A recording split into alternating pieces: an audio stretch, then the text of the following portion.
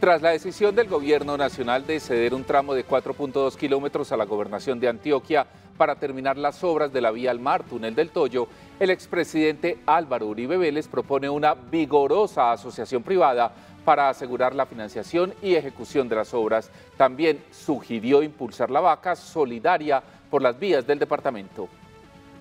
El expresidente Álvaro Uribe Vélez propuso contratar las obras que faltan del túnel y de las vías del Toyo con todas las firmas afiliadas a la Sociedad Antioqueña de Ingenieros y Arquitectos. También es el momento de dar impulso a la vaca solidaria.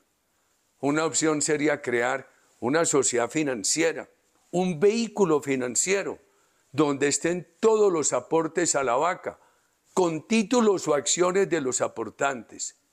Esta sociedad podría ser cofinanciadora del túnel y de sus obras complementarias y recibir el pago de unos intereses. Por su parte, el director de la Cámara Colombiana de la Infraestructura en Antioquia recordó que el túnel del Toyo es un proyecto estratégico para la conectividad de Antioquia y Colombia. Esa obra es la que nos va a unir con Puerto Antioquia y Puerto Antioquia va a ser el puerto más estratégico, no para Antioquia, para el eje cafetero, para el valle, incluso para la meseta cundiboyacense.